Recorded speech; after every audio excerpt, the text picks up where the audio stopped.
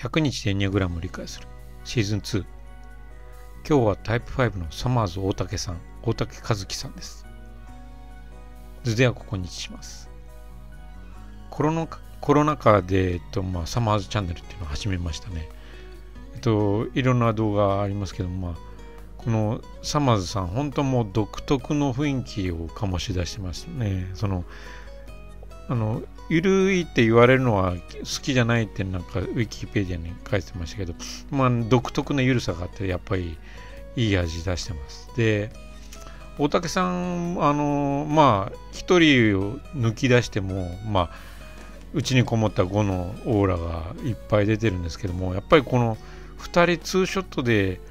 いるとさらにそれがこう際立ちますよね。のちょっとこうとぼけた顔をしたとしてももう全然その三村さんにはこの比べ物にならないようなやっぱ対比ができます。だからそんなんですか。ね、うん、よりやっぱり際立つんですよね。例えばこういう顔とかもうほんと5っぽいですよね。それに対して三村さんも本当にもう満面の笑みで。三村さんた、えーと、セブンだと思うんですけどまあすごくやっぱりこうあのコンビでいることによってよりエニアグラムのタイプっていうのは際立つオーラが際立つと思います。止めです。タイプ5のオーラしっかり出てる大竹さんでした。